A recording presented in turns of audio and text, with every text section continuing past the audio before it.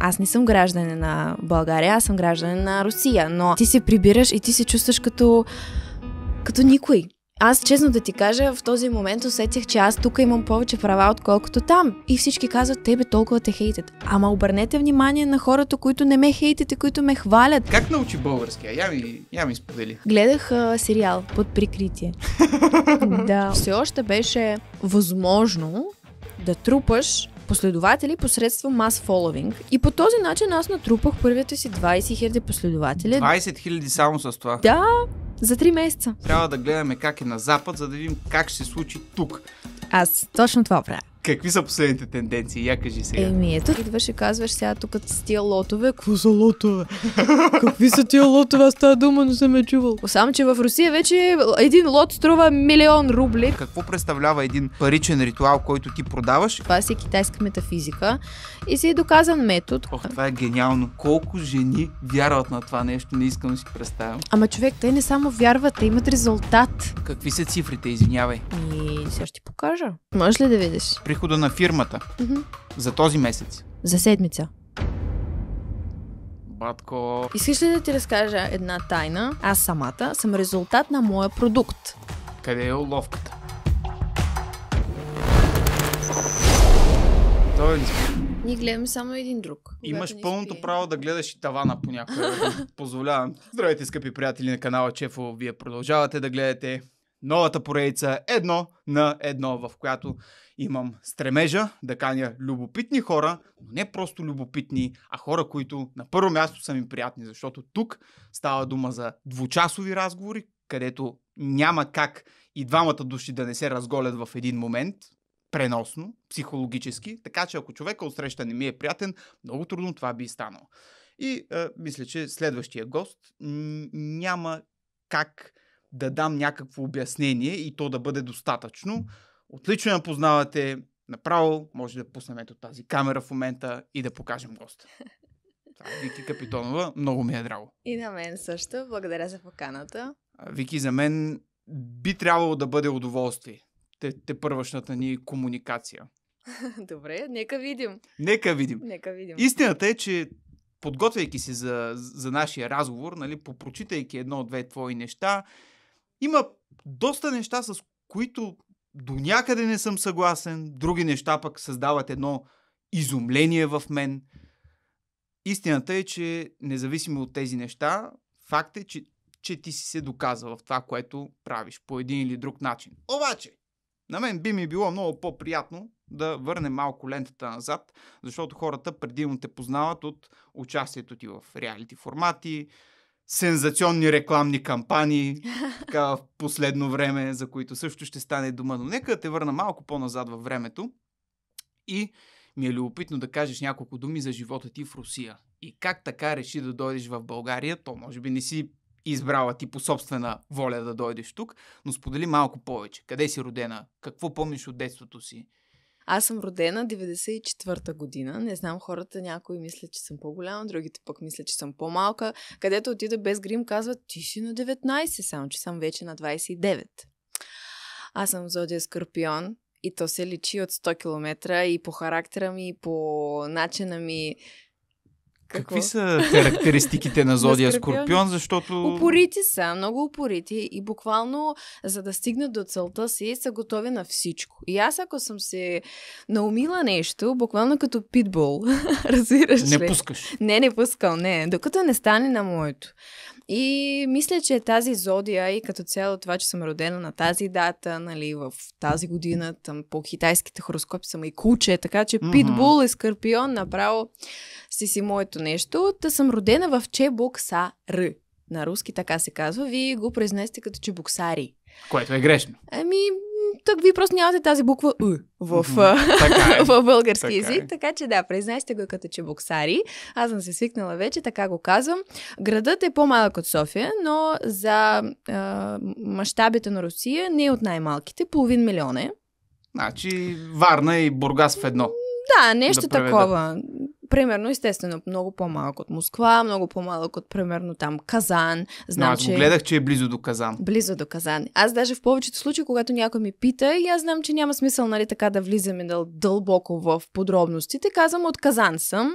И те казват, а, Казан, Рубин, Благой Георгиев. Викам, да, да, там, там, да, някъде Топла там. връзка имаме и там. Да, да. И те хората за това знаят Казан. И още взето градът ни е много хубав. На Волга се намира на реката. Много красив. Даже няколко пъти градът самия печелил нещо като награда на най-чистия град. а.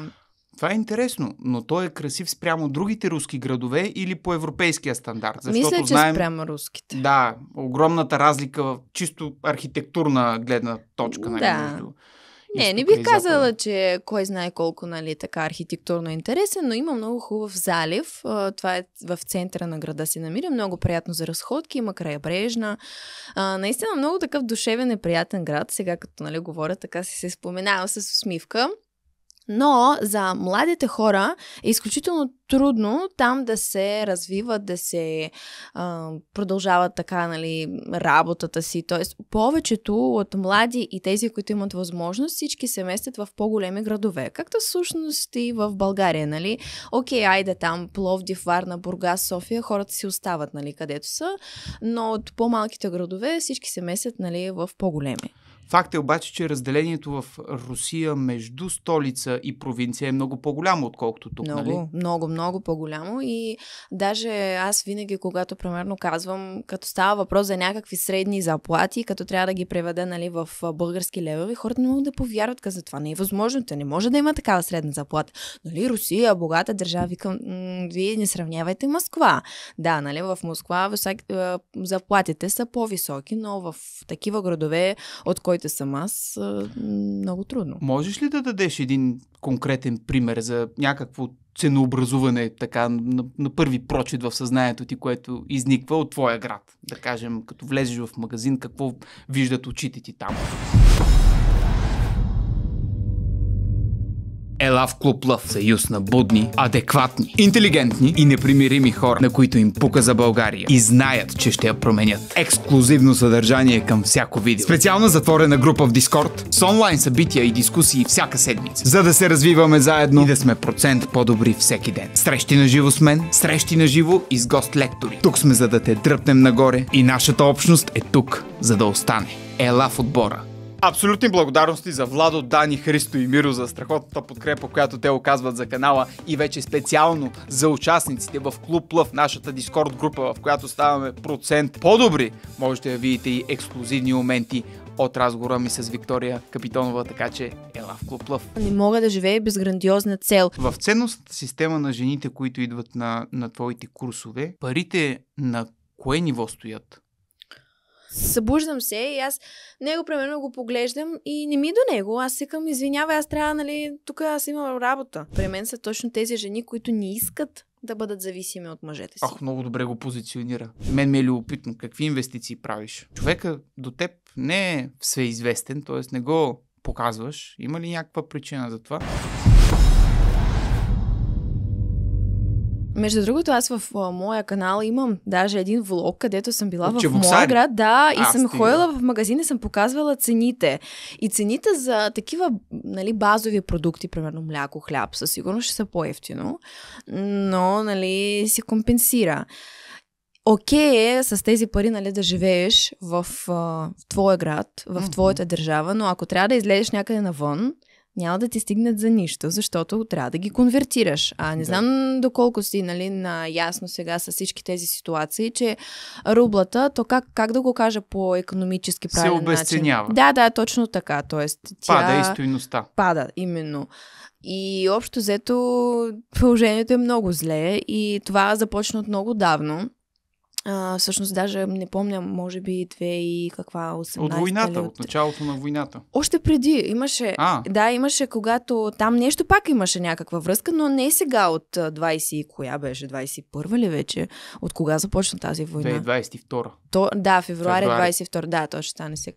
Мислиш ли? Добре, айде, нека така, не е 21. Мисля, мисля. Добре, ти си. Доста видеа съм направил на тази да. тема. По-добре знаеш от мен, защото аз вече съм се объркала тотално. Даже ония ден се сещахме с редакторката на BTV, кога съм участвала в реалити предал. Не можахме да се На тебе сетим. ти се сливат вече. Да, Реалити, защото това- всяка година има нещо. Та пък отклоних се от темата. А, ти пита за цените. А, да.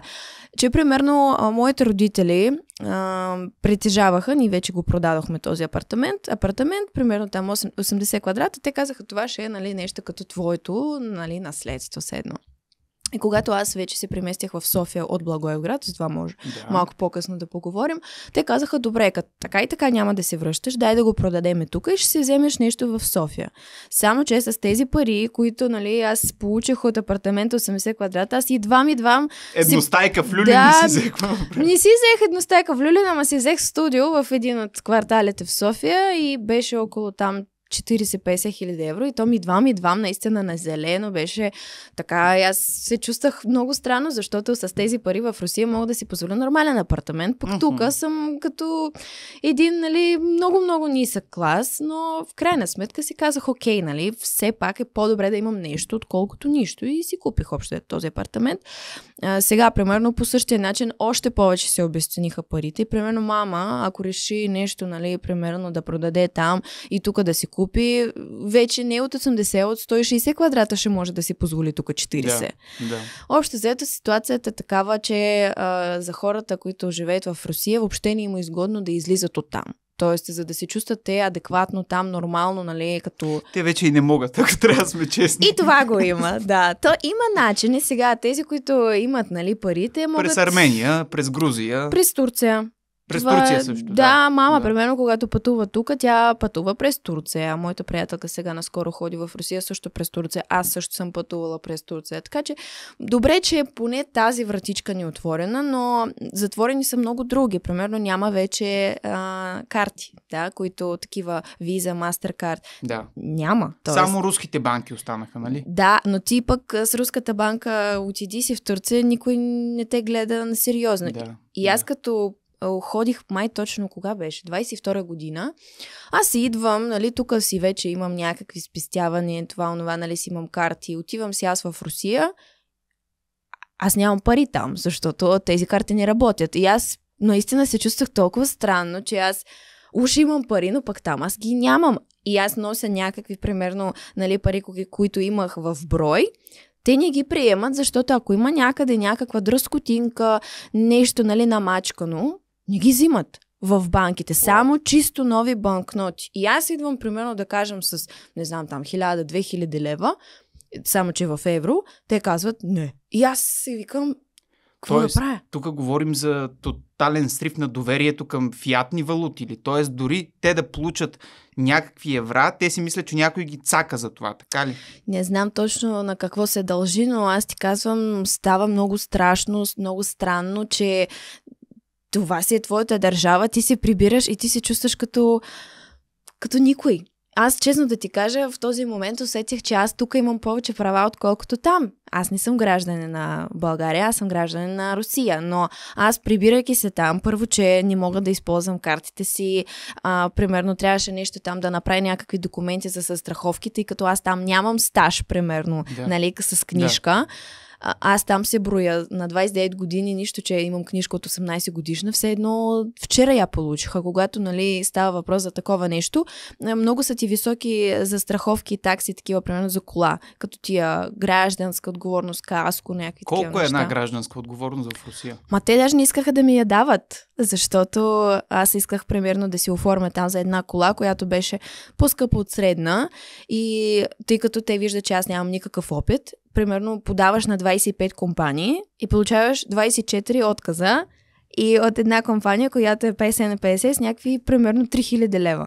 Даже не, не знам, нещо като И гражданска защо се отговорност. получава този парадокс? Ми защото като ни живееш там, като ни трупаш, нали, там някакви такива неща, няма значение граждан ли си или гражданин, нали, си има правила.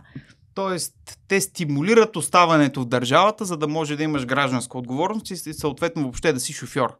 Да, общо взето, нали, а за да имаш там някакви права, ти трябва там да живееш и трябва да плащаш, нали, там данъци и това, онова и трето, пето. А тъй като аз съм нон-стоп тук, всичките ми данъци са тук, аз там въобще нищо нямам, нали, нищо.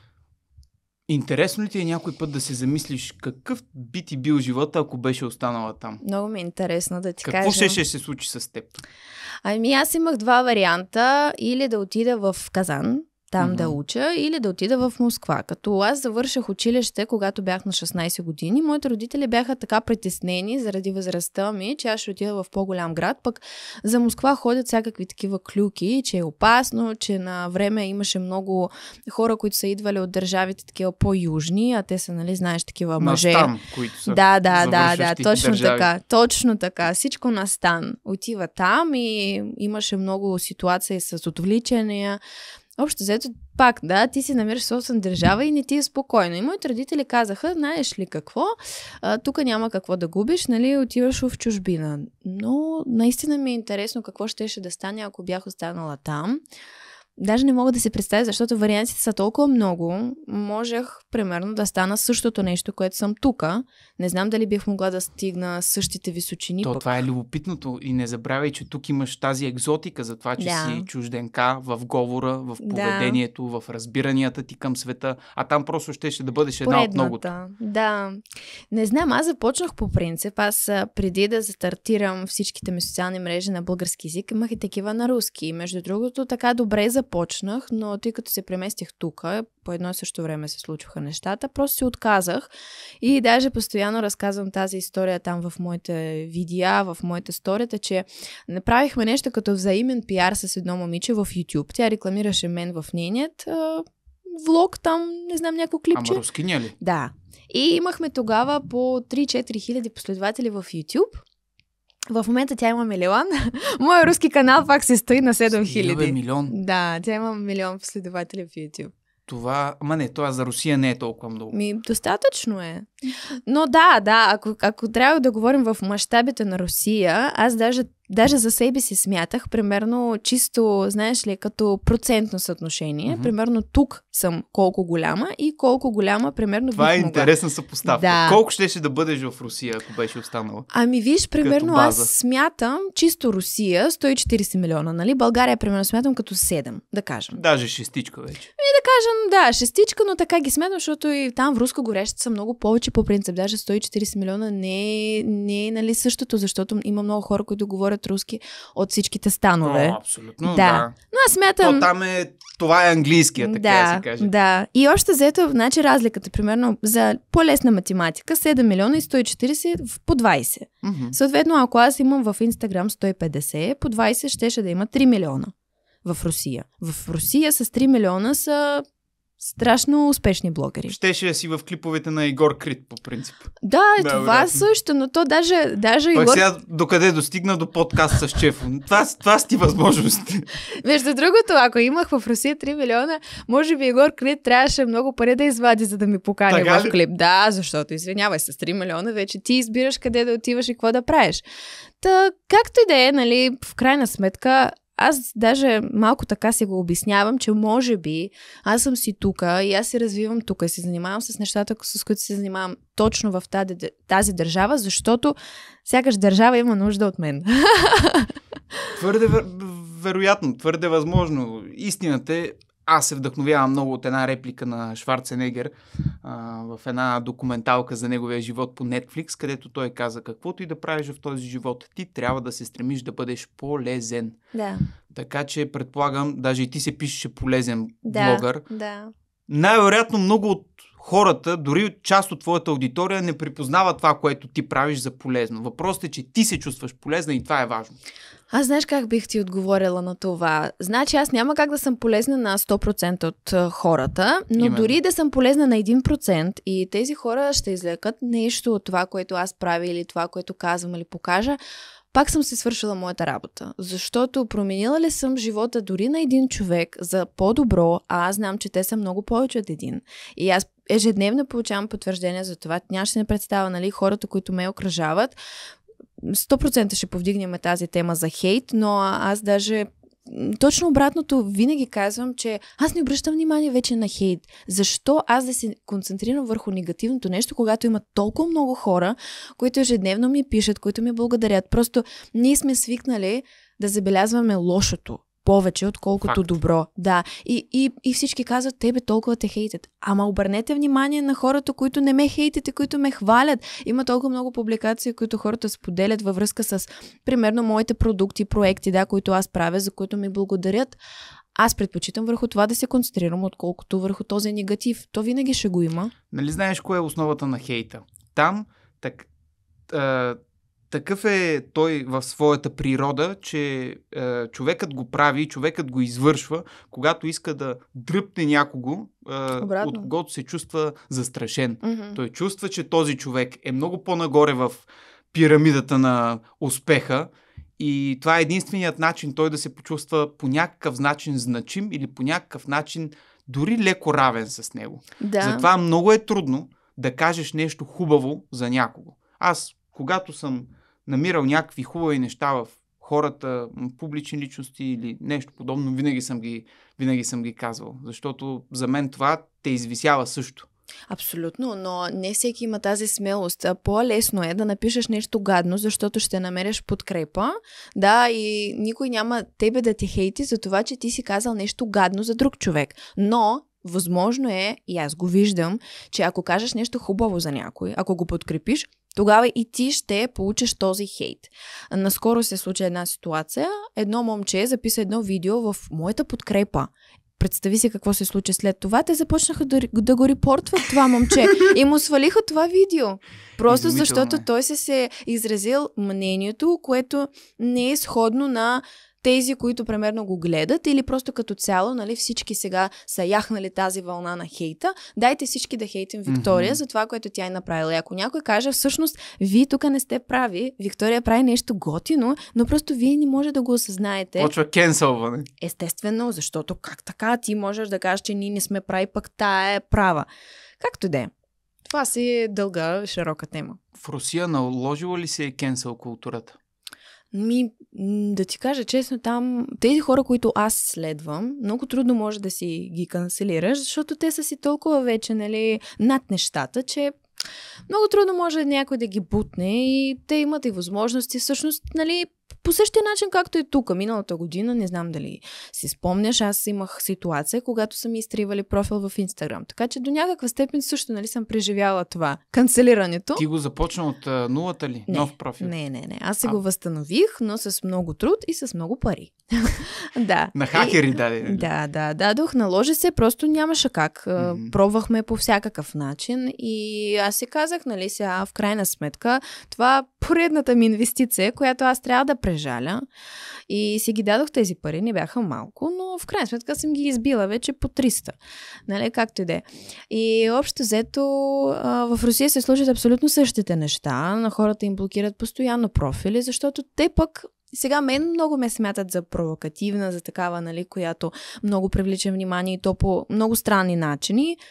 А ако ти кажа какво се случва там, тук сигурно ще щяха да Кажи ми. схвърлят с домати. Ми хората качват се по бански върху коли, обикалят върху а, там около такива известни а, комплекси, може би си чувал Москва Сити, те са такива едно високи сгради. А, да, разбира се. Да, и те, те постоянно правят някакви такива неща, в които, заради които попадат нали, в вестници, в списания на телевизия, защото това си си е точно нали, медийност. Все едно То е медийност. Добре, да обаче до нас достига историята и наратива, че всъщност руското общество е много по-консервативно от нашето. Къде е истината? Ми, честно да ти кажа, аз не смятам така, че е по-консервативно. Има сега, нали, както и тук, аз съм една от малкото, които биха могли да си го позволят това нещо, нали, да направят нещо много така, което е извън рамките на нормалното. И там също има такива хора. Но това е неизбежно, особено в нашата професия, ние за да сме интересни, ние да, нали, хората да продължават да говорят за нас, защото ако за нас не говорят, ние нали, умираме буквално. Интереса към нас а, той изчезва. И Да. затова се налага понякога да правиш някакви извън редни неща, но да. Да видим в а, така тази стълбица нагоре, докъде ще достигнеш. Еми, да ти кажа честно. Имаш ли горна граница на... Е, със сигурност, със сигурност. Аз да ти кажа честно, сега, поне аз няма от какво да се притеснявам. Мен постоянно ме заплашват с какво ли не. А, ние ще ти пратим там, ние ще те пратим онам, пък а, умри, самоуби се, а, скри се. Нон-стоп такива неща. Ти просто си го преместваш от единия в другия крачол. Да, ами то в крайна сметка сега, пф, не знам аз какво съм направила конкретно на тези хора, че те да се събудят и да изпитват такава злоба към мен. Аз се забавлявам, аз се занимавам нали, с някакви мои неща. Общо взето правиш си а, парите, така да се каже, няма, няма къде да те пипнат по това отношение. Именно, да, да. Мен много често ми казват, ма ти как пък не се притесняваш това, това, трето, пето. От какво да се притеснявам? Аз искам да съм този пример и примерно хората, които се учат от мен, аз винаги казвам, за да може вие да си позволявате да си държите така като мен, сега, ако, особено ако имате такова желание, не всеки има такова желание, но ако искате да си държите така и да може да не че да се фукате с нещата, които сте постигнали, до някаква степен нали, да си ги афиширате, естествено трябва всичко да ви е изрядно, защото иначе е проблем. Аз не се притеснявам от това нещо, защото знам, че съм чиста като, как се казва, момена сълза. Браво, бе. Между другото, за чужденка направо ме убиваш. С изразите. Ти говориш по-правилно от половината си наборки, сигурно. Без, да, без преувеличение. Извинявай, така не смятат повечето хора. Всеки ден получавам съобщения от сорта на научи се да говориш български, научи се да пишеш на български, научи се. Няма угодия. Няма угодия. Няма. Каквото и да направиш, ще те хейтят М. и ще те заклеймяват, така че по-добре да бъде това, което ти искаш и ти вярваш. Абсолютно. Аз работя на същия принцип. А, понеже искам да изчерпим а, темата за Русия и да пре- прелеем плавно към момента ти на, на пребиваване в България, кажи още малко за великата руска страна и конкретно къде си била там, къде си ходила, къде си пътувала. Тук ще ти стане много интересно, защото аз съм обиколила повече градове в България и в Европа, отколкото в Русия. В Русия съм била единствено и само в а, моя град, в Москва И в Казан. и в Казан. Стига бе, човек. И още един малък град, в е, който... добре, Питер, поне не видяли. Не си ходила в Санкт-Петербург. Не, нито съм ходила в Санкт-Петербург, нито съм ходила в Сочи, което сега нали, толкова е нашумял град, където има а, такъв, как се казва, където ски може да караш. Олимпийско селище беше да, това. да, да, да. А сега стана. се е развило като курорт, зимен. Да, той е много хубав. Поне така казват. Хората много Да. обичат там да ходят. И нито съм била там. Това са 4-5 града, в които съм била из цялата Русия. Ами е много обидно да ти кажа. За Петербург се очудвам, защото е, много хора казват, че той е значително по-красив от Москва. Това е като културна столица на Русия. И Да. даже имаше то, тези приятни, хубави периоди, когато имаше директен полет от София в Санкт-Петербург. Мгм. И аз планирах и много исках да отида с моите приятели. Те са българи, затова трябваше нали, да извадят виза. За, за Русия вие също имате нужда от виза. И общо взето нещо се замотахме и казахме, добре, айде следващата година и то айде, Айде! спираме кранчетото, всичко се затваря, иначе бяха много удобни тези полети с а, бюджетни компании, направо 100 евро и ти си отиване връщане в Русия. А сега, ако искаш да отидеш в Петербург, трябва да минеш сигурно през Истанбул. Да, да. Аз със сигурност ще отида. Между другото, аз много искам до година някакъв така а, летен месец, летен период, може би даже и за бели нощи, не знам. Или... Що бе, 100%. януари месец в Петербург е перфектно. Не, не, той е там минус 20, минус 30 градуса. То ще кихнеш и ще излезе снежна топка. Да, то ти се замръзват а, течностите в носа, когато си в Русия. Много е странно. Искаш така да направиш и, и то ти е замръзнало всичко. Дали- Гледал съм един уникален документален филм за най-студената точка на Земята от Якутия. Бяха снимали някакви хора, минус 70 градуса става там. О, Боже. Мажат се с една мечешка масли, каква беше, за да могат въобще да оцелеят. Любопитното е, че там вече, понеже явно е по-към Азия, и, е, руснаците или практикуващите руски език са предимно с дръпнати очи. Да.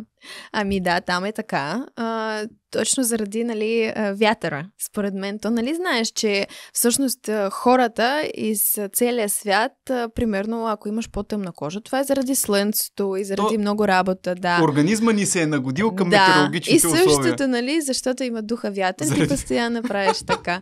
това значи какво в Япония, в Китай, нон-стоп. Еми, така ли? явно да, не знам.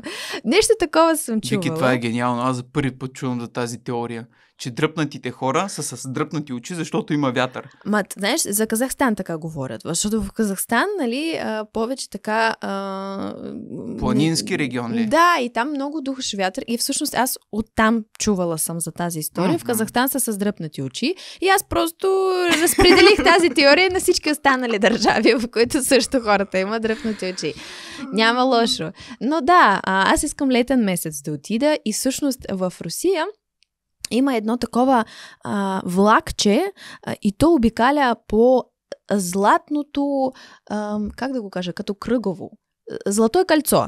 Е, Добре, това е на да, руски. Да, да, да. И това са точно тези градове, които се заслужават нали, да ги видиш. И там са някакви, примерно, Ярославъл, Волгоград, някакви такива много изконно руски градове. Да, и аз да, искам да. на нещо такова да се качу и да обиколя всички тези градове, за да мога аз следващия път, като ме поканеш, да не стоя и да не ти казвам, че пет града съм обиколила в държавата, в която съм родена. И да ми развиваш теории за дръпнатите хора, как те са така с дръпнати очи, понеже има много вятър. Да, да, да, може би ще науча нещо ново тъкмо. За Санкт Петербург съм чувал, че е, градът е значително по-красив от Москва, заради по, така, е, труда на много европейски архитекти. Възможно. Той е бил и столица по времето на Наполеон, нали, когато Наполеон атакува Русия. Mm-hmm. Чакай сега, ей да не кажа някоя глупост. Ама там, не, май Москва ли беше столица тогава и е, руският цар беше тръгнал към, към Петербург пък да се Не да дай се Боже брани. да не гледа някой историк сега, тук да не се смее на размислите. Да, ще мътна. Ти гледа ли Наполеон? Не, аз съм много далеч от тези неща. За жалост, аз съм много зле с история, много съм зле с география. Единственото нещо, с което съм добра е маркетинг, но живеем. То ти стига, бе, човек. Смисъл, така е изграден света, че колкото повече можеш да правиш едно нещо по-добре от другите, то това ти е достатъчно. Да, то в крайна сметка сега с тези, този Google, с а, AI, нали, тези Artificial Intelligence, ти вече всичко можеш да намериш, даже не ти, не ти е нужно да знаеш езици, но нали, за мозъка си е добре да ги знаеш. А, но да, с география, с история, с тези, даже и литература руската, аз не съм била най-прележната ученичка, да ти кажа, в Русия, когато учих. А не си ли чела някой от руските... Четох, естествено, класици. всичко, което трябваше нали, по програмата съм чел, обаче аз нищо не помня. Аз не знам на какво се дължи това нещо. Има някакви хора, които до ден днешен помнят тези стихове, нали, които сме учили там, Пушкин, а, други неща. Всъщност в едно от предавания, нали, там имаше нещо като въпроси, обаче въпросите бяха нали, свързани с България. Естествено, така аз не съм си погрижала да науча всички тия неща. Тогава даже много хора се смяха, че я не, не съм знаела какво пише на сградата там на правителство, Добре. дето Съединението или там прави, прави силата. Да, прави силата. Това не го знаех. научих. Добре. И после ми зададоха, нали, защото аз си възниквах там, че а, аз откъде да знам? И те ми задаваха някакъв въпрос, свързан с руската литература и аз отговоря грешно. Велико. Все едно те искаха, нали, да покажат, че ето, не дей да говориш, че ти нещо знаеш, нали, и не знаеш сега просто защото ние ти питаме за българските неща. Да, признавам си го, много съм зле в това отношение, но просто аз сега, примерно, и да искам да го направя, то, то откъде да започнеш? Какво трябва да напиша в Google? Какви най-важните неща трябва да знаеш за история, литература и география или какво? то просто трябва да ти е любопитно и да ти идва отвътре. Ако не ти идва отвътре, просто не го правиш. Аз пак ще го забравя след 30 секунди, разбираш Ти ще го забравиш, защото не ти е интересно. Аз съм mm-hmm. така с нещата, които не ме вълнуват. Прочитам нещо, ама то като тук няма огънче, като няма нещо да, да ми стане интересно и мозъкът ми абсолютно го елиминира в конкретния момент. Да, и не знам аз да се чувствам ли виновна от факта, че да. може би... Най-добре. Не трябва да живееш до края на живота с, с това бреме. Много, много жалко. Не, наистина, аз не се чувствам комфортно с това, но просто наистина сега вече ми се завъртя, нали, живота съвсем в друга посока. И аз да си казвам, чакайте сега малко, тук всички ангажименти, фирми, хората, за които Къде съм поела отговорност. Къде ще Достоевски, нали? Не, не, не, не, аз трябва да се занимавам точно с това, нали? Сега изчакайте. Хората чакат заплати, данъци, всичко. Не, не, не, Достоевски сега отварям, не мога не, да, не да се развивам в нали, посоката, как да обясня за маркетинг, за Инстаграм, нали, всякакви такива неща, аз трябва да чета Достоевски. Добре го преувеличи. Да. Но да, да. Да не сме критични към нещо подобно, защото масово хората не четат. Това е реалността. За жалост. А, да, а, аз много обичам един лав на Георги Господинов. Чува ли си го между Не. Това е в момента един от най-добрите български писатели. Беше награден даже с а, книжен Оскар, ако мога така mm. да се изразя. Да. А, та той има един много хубав лав за четенето и той казва, че четящият човек е красив. И също чрез четенето ти осъществяваш една невидима работа по вкуса. И това е точно така, защото аре, сега на теб не ти личи, че не четеш, но ти си нали, млада, привлекателна, нали, поддържаш се и така нататък. Но има има хора, на които невежеството им е изписано на лицето. Разбираш ли? Ти в момента, в който влезе в стаята, ти можеш да познаеш този човек дали чете или не. Има го това. Със сигурност. Аз, между другото, съм си замисляла и то не само защото е хубаво да четеш, а да започна да чета на български, за да си подобрявам буквално нали, речника. Тоест, как да го кажа на български сега? Ето, виж, Ама... аз не мога да намеря правилните думи. Ама ти говориш достатъчно правилно и с достатъчно широк диапазон от думи. Това ми е много приятно, но... Е, това е истината, смисъл. Е, винаги може по-добре нали, сега да си говоря така по-литературно. Обаче аз съм забелязала пък, че това хората ги дразни. Примерно имаше в едно от реалицата също едно момиче, което така имаше много така литературен израз и хората казваха, нали, за, за какво се прави, нали, защо така говори. Това са ми го казвали и на мен. Да. И това знаеш ли кои хора го казват? Които не разбират тези думи, защото те да. не са инвестирали така време в четене и тези думи за тях им изглеждат като пришити към изречението. Да, а ти колкото повече четеш, толкова повече думички добавяш в речника си и тогава те автоматически влизат в речта ти. Не е, дай тук сега ще използвам а, еманципация да. или меритокрация. Не, напротив, то просто ти идва да. на, на естествен принцип. Mm-hmm. Еми ето, и аз искам някакви такива думи явно да науча. Аз знаеш ли обаче... какво правя? Mm. Имам си на iPhone на секцията с бележки, имам два речника. Единият е за, за английски думи, mm-hmm. когато чуя някоя английска дума да си я запиша с превод. Другия ми речник, човек, е за български думи. Тоест, все още и до края на живота ми ще има думи, които аз не знам какво значат в българския yeah. език. И всяка си я записвам и си я препрочитам. Ако не ми дойде момента а, така на, на използване, то поне да разбирам, когато ми я употребят. Да, и... да знаеш за какво ставаш въпрос, а не да не се чудиш. Но това, това е много готино. Това е работа. Смисъл, това е желание на един индивид да може да разбира и да осъзнава малко повече света около себе си. Mm-hmm. Защото ако, ако не е така, другата альтернатива каква е? А, то се прави. Не, брат, не се прави, просто ти не четеш. Да, така е. Ми, надявам се, че този фрагмент от нашия разговор ще мотивира някой така да си отвори някаква книга и да почете. Аз на мотивация съм страшен. Направо.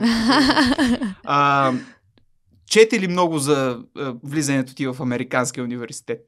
И как се случиха там нещата? Ами... От Русия дойде към, към България и съответно записали в Американския университет, полагали изпити. Слушай сега, то е дълга история. Значи аз бях тогава 9 клас. В Русия имаме не 12 като вас, а 11.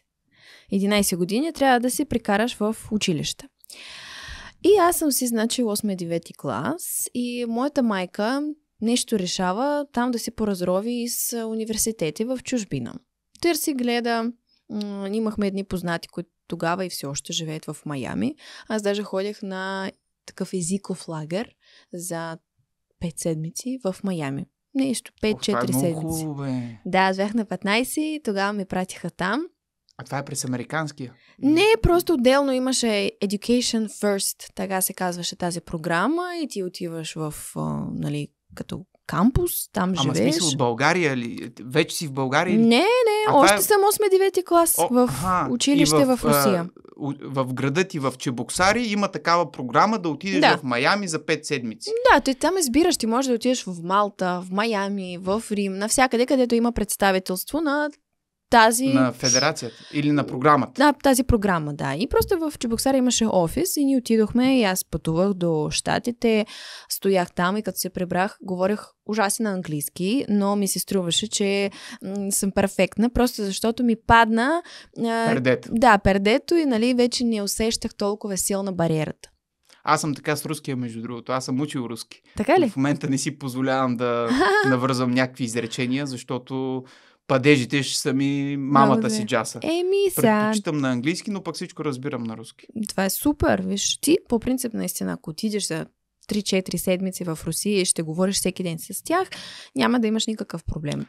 Ай, три месеца, го кажем. Добре, айде Малко три по-дълго, месеца. но да, да, смисъл Да. ясно ми е. То езикът си така се учи с натрупвания. Да. И някой път ти трябва много малко така да се подтикнеш, за да си го припомниш. Именно, да. И още ето аз отидах в Майами, се върнах и казах на мама, че много ми хареса нали, култура на Америка и по принцип аз бих искала нали, да съм някъде в чужбина, в университет. И тя започна едно търсене и намери този американски университет в България. Имаше варианти в Дубай и имаше още един американски университет в Рим. Като отново, да, както казах в началото, аз бях на 16 години. И моите родители малко се притесняха, че съм все още много малка. Даже, нали, мислехме и за варианта с щатите, но там образованието беше много, много по-скъпо. Пък Мгм. моят английски все още не беше на толкова добро ниво. И те казаха, добре, нека да пробваме с България. Защото, нали, Русия-България сходни менталитети, не е толкова далеч. Майка ми, като била, нали, млада, идвала там, нали, такова още като... Още една республика беше България Да. на време. 16-та република на СССР. Да Точно така. Да, да. И още взето така го усетиха те, моите родители, че за мен ще ми бъде най-добро тук. И аз ходих точно в Казан, защото в Казан имаше а, като изпит. Мгм. Тоест да отидеш там, да си го дадеш. И ни имах, т.е. нямах хубава оценка. И тогава получих предложение от... а, Значи към американски има един институт, който се казва English Language Institute. Там учиш само английски и се подготвяш към тези изпити. Тогава, на време, това беше 2011 Колко отдавна? Човек. Колко направо. отдавна? Ужас! Нямам думи. Нямам думи как минаха 12 години. Да, ими да, и още взето те ми предложиха да дойда там, да уча английски и паралелно да се подготвям към изпитите, които ми необходими, за да вляза в американски. И ни приехме това предложение. Аз отидох, аз изкарах 4 семестра в този English Language Institute и след успешното нали, взимане на изпити, вече ме приеха в американския. Това беше 2013. И, общо И ти идваш в България без да знаеш грам български. Не, абсолютно. Нула. Нищо. Вау. Имаш ли тотален културен шок в Да. началото? Имах, точно имах И културен какво шок. ти беше първото впечатление от България? Значи, когато дойдохме, ние дойдохме първо на море. Така да се починем с родителите. И първо, което забелязах, че мъжете са високи и са много красиви. И аз си казах, вау, тук мъжете са топ. По-красиви сме от руснаците. Да, така ли? да, тогава ми се струваше Това е така. Да, сега вече нямам нали, база за сравнение, защото аз вече... То ти се е размило. Да, аз не помня как изглеждат руснаците мъже. И викам, у, много симпатични мъже, такива, нали, южни. Викам, готино. Тук има. Какво да правим? Има игра. има игра, да. И после, като вече отидохме в Благоевград, като видях, а, значи, количките с коне, нали, където обикалят из града, си казах, хм, такова нещо не съм виждала. Какви колички с коне? Смисъл, тук в? София, да, да, каруци. Вау! Да, да, тук в София не съм виждала, може би една-две. по- Едно време имаш. Да, Ма, Да. да. в Благоевград до ден днешен има. Да, да, то си. И аз бях така малко вау. Нали, много интересно. Наистина изпитах културен шок. Ами то да ти кажа, аз не знам кой кон ще оцелее на тия зимни условия в Русия. Може би затова не, няма Може би, приложение това превозно средство. да. Но както цяло, да, и другото, което ми направи впечатление, всъщност, са хората, нали, които аз даже не знам от, как се казва, от ромски происход, така ли ги наричаме? Да. В Русия по едно време имаше и то те бяха така около пазарите и обикновено само просиха. А тук пък, нали, това е нормални хора, които така сред тебе, които работят също. И, и беше ми също странно, защото аз имам малко стереотипно, нали, мислене в да. това отношение. Имаше предразсъдъци към точно, тази прослойка. Точно, точно. И беше ми странно, се едно, а тук толкова много и имаше, нали, като квартали. А, и в Благоевград, в зоопарка, като отидеш на едно място, uh-huh. ти можеш отгоре да видиш този квартал, който е, нали, само за такива хора. И там някакви танци, песни, много шумно и викам, вау, такова много като по филми. Да, да, да, да. Но да, изкарах си аз тези 6 години в Благоевград. Но според теб нашите мълцинства са по-добре интегрирани от а, тези в Русия. 100%, 100%. Тук не се се усеща толкова, нали, а, как да го кажа, раз, не разслоение, а тук наистина всичко като общност, нали? Едно. Е, как е възможно това, имайки предвид, че постоянно е, великият президент на Руската федерация тръби именно за това, как това е държава на всички народи, на всички страни, как всички се подкрепят, всички са равни. Това е нещото, което се говори. И аз, като човек, който просто е бил в Москва за една екскурзия преди 7 години и не съм видял достатъчно, затова съм доста така удивлен от нещата, които ти поднасяш mm-hmm. а, зад кадър. Да, ми не знам, то както знаеш, по телевизия много неща се говорят, много неща се изкривяват, но реалността е друга. Не, сега, сега вече, между другото, почти ги няма в Русия тези хора. Не знам, или просто наистина... са пратени в лагери. Не знам, просто не ги срещаш вече. Може би малко в Москва или не знам къде са отишли тези хора. Просто, просто изчезнаха. Просто ги няма не знам, може би не ги подкрепят, нали, и те намериха в някакви други държави, примерно място, нали, както сега в Европа.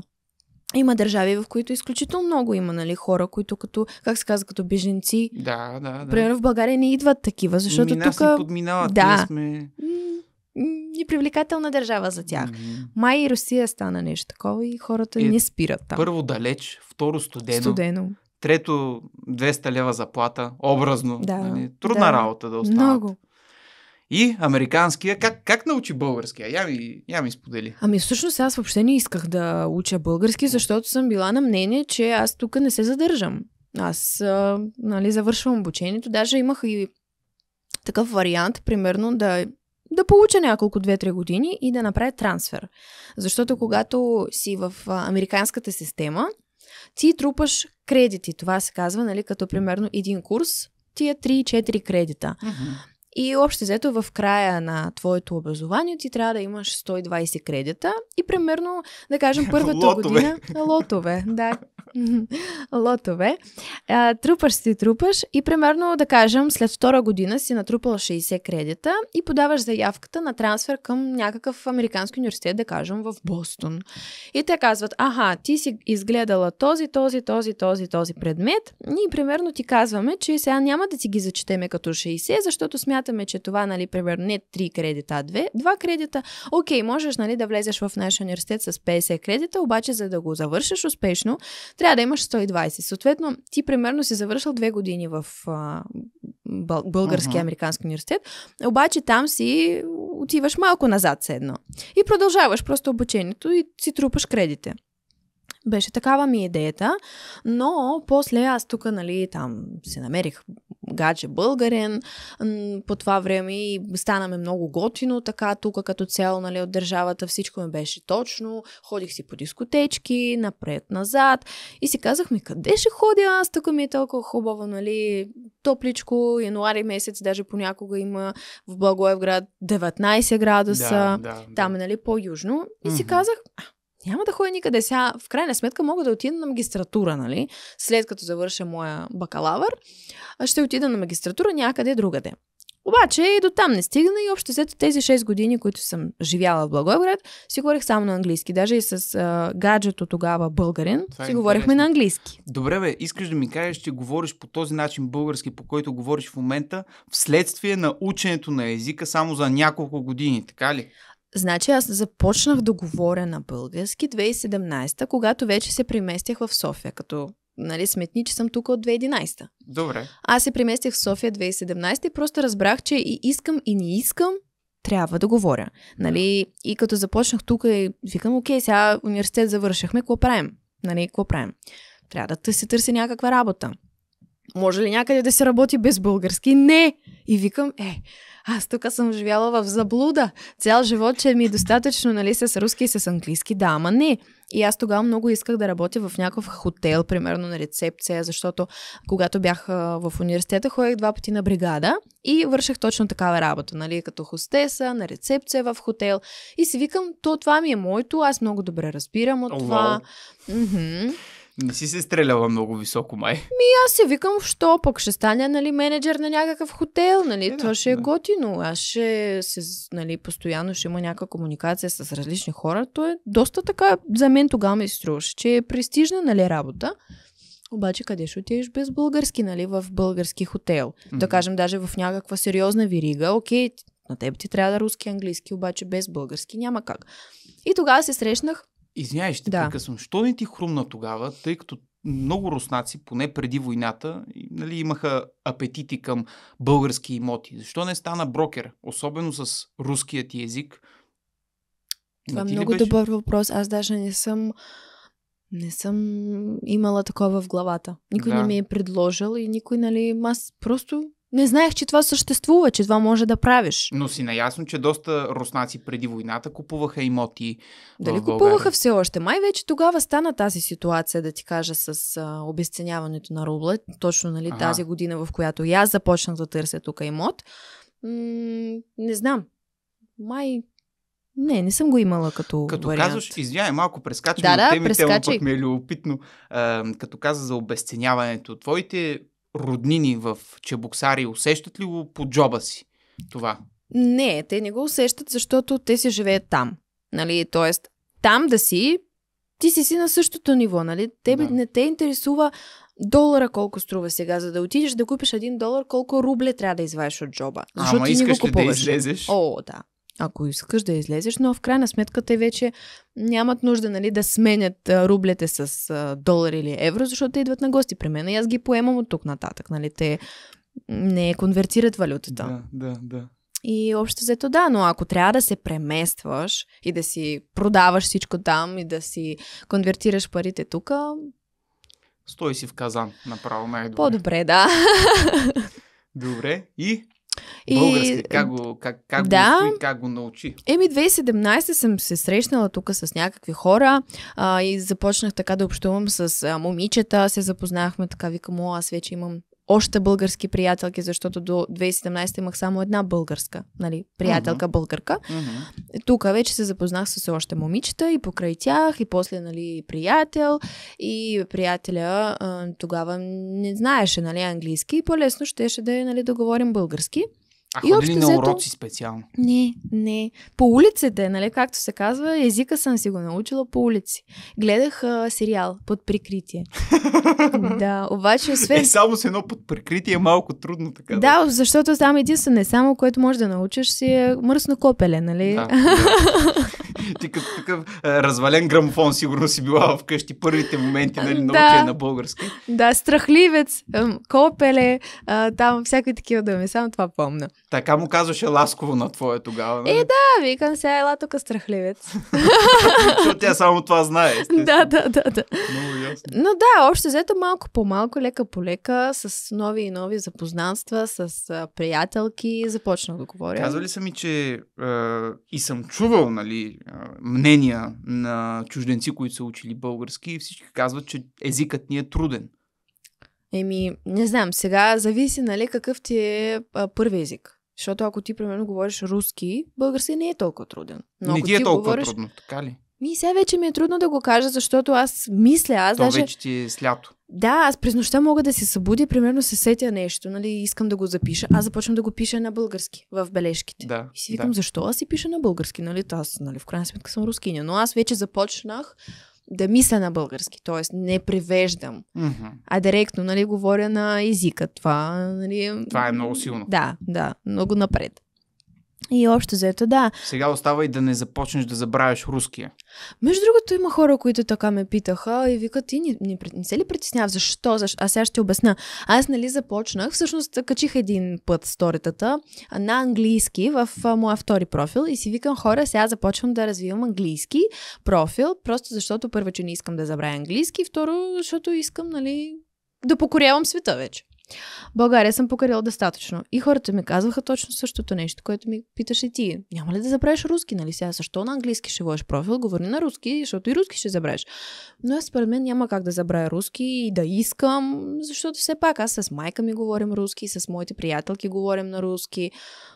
Аз постоянно гледам някакви видеа на руски блогери, нали, инфлуенсери то постоянно има руска реч. С какво се отличават руските инфлуенсъри с, така, спрямо българските? Какви са основните разлики? Ще ти кажа. А, в Русия почти не остана инфлуенсър, който да няма нещо свое. Като аз имам предвид някакъв... Тениски. Да, каквото да е. Тениски, чаши, курсове, продукти. Едните правят колаборации. Примерно има един много така а, нашумял, известен, аз трябва да ти го покажа, Миша Литвин. Той пали колите. Той купува колите и ги пали. Примерно Ламборджини, БМВ. А знаеш откъде тръгна всичко това? Сега ще ти обясня. Той общо взето... От мистер Бист, откъде? Ма може би, не знам, но да, може би. Но, чакай да ти разкажа. Значи той има с а, нещо като тая енергийна напитка, колаборация Добре. и много успешна. И общо взето той отиде да купува а, Мерцедес. И се скараха с него нещо в магазина. Той отиде, нали, не колаборация, не е нищо, просто отива си го купува. И той нали, не му хареса отношението на хората, които са му продали тази кола. Той все пак си я взел, отиде в едно поле и се я запали и започна да показва, нали, там средни пръсти и всякакви глупости да вика и да казва, ето, вижте, нали, а, като не се отнасяте добре с мен, ще ви паля колата. той си дал парите и за тази кола. стана популярен, така ли? Той стана популярен, той започна да прави другите неща. Обаче БМВ-то похвана в това нещо и те викат, ние сега ще ти подарим кола. и те му подариха кола. Не, да, обаче след известно време той запали и не каза, съжалявам, нищо против няма, обаче много ми хареса да паля колите. Той ги почва. Да, и после купи ламбо, после купи още нещо. Москвич не купи ли бе? Не е купил, само скъпи коли, защото тя това предизвика интерес. Ми, що? Кой, кой ще обърне внимание, като направиш нещо на москвич? Моля ти се, подценяваш тази руска машина. Напиши му. Кажи човек. Брат, крайно време е да гориш и малко да. лади и москвичи. Ма знаеш какво според мен той какво може да направи? Той може да купи примерно а, 10 наредени, за да ага. може да има по-голяма стойност, нали? Защото в крайна сметка хората се изумяват от количеството нали, на инвестиция, което той е направил с тези коли. Не мисля, че този господин много се води от съвета на Шварценегер, дали да бъдеш полезен. Защото това не знам колко голяма добавена стойност не, има. Не, той е просто много, много, как да ти го кажа, супер неадекватен човек. Много неадекватен, постоянно прави някакви супер странни неща, обаче е супер популярен, то хората, нали, просто го гледат. Говорейки за руски инфлуенсъри и скъпи марки коли, направи ли ти впечатление рекла... рекламата на Бентли преди 3 месеца? Мас... С една рускиня. Не, а, чакай, дето там тя правеше Потраква. такива. Е, да, да, е да. Гениално. да, да, да. Знаеш ли я тази госпожа лично? Не сте ли ходили в Чебоксари да пиете по две кафета? Не. Понеже мисля, че тя е на върха на хранителната верига в Русия. не знам. Или не я следваш много. Не, не я следвам. Да, да, да. Но да, кампанията е брутална. Сега като ми каза, нали се сетих, но всъщност не схванах. Защото аз, да ти кажа, че аз не знаех, че това е официална им реклама. Мислех, че просто е някакъв клип. Не, тя го прави за абсолютно всички коли. А. Да ти кажа, по едно време я следвах, в следващия момент спрях да я следвам, защото голямо бомбардиране на допамин се получава, когато следвам много жени в Инстаграм и общо взето при мен положението е само почти само в приятелския кръг на положението. Не искам да бъда зариван от красиви жени. Това е действа демотивиращо по принцип за, за, за мъжкия мозък. Така Това има една интересна теория за допамина като хормон, за допаминовия детокс и така нататък. Говорил съм в мои видеа това, което ти правиш рано сутрин, между другото, което ми сподели mm-hmm. в момента на пристигането си, че се будиш с слайпване е изключително погрешно, защото да. това дългосрочно ти действа демотивиращо. Ти рецепторите си за удоволствие ги източваш още на 20-та си секунда, от буденето. И е много е. трудно. И е mm. много трудно. Аз самият първата, първата ми работа е такова да попипам да. къде ми е телефона, но се, но се боря с това. Ох, човек, и аз трябва да се боря просто, когато не знам, не знам, то важно е, нали, наистина първи час, така да не го пипаш този телефон, да си правиш нещо друго, обаче като всичко ти е там. Да. Оф. Да, в нашите случаи е по- по-трудно. Някакви вредни навици имаш ли? Не, а какво може да се смята за вредно? Като... И да си бъркаш в носа, като си сама. Не, такива, чак пък такива, не. Аз мога да пина винце. Смятам, че това е доста вредно чак доста. Не, в смисъл... Е, сега вече се усеща на тая възраст на 29 години, като пинеш повече от 3 чашки, на следващия ден не искаш да живееш. Тази вечер ми предстои, защото съм поканена на рожден ден и само се чудя как да изпия само една чашка за цяла вечер, обаче руската ми кръв не ми позволява съвсем така. Аз, ако попадне една глътка нали, алкохол в моя организъм, много трудно да си кажа край. Аз или, нали, в двете крайности. Да. Или въобще да не пия, казвам, не, не, не, не, не, не, не, не, абсурд. Или пък, айде, още една, още една, още една, още една. Да, бе, някакси руския народ е, е психологически свързан с е, тези, тези напитки. Да. М- какво е обяснението за теб? Заради студа? Дали само заради студа или има нещо отвъд него? Ми, не знам, всъщност отвъд, освен скуката и Скуката, Студа, да. скуката много добре го определи.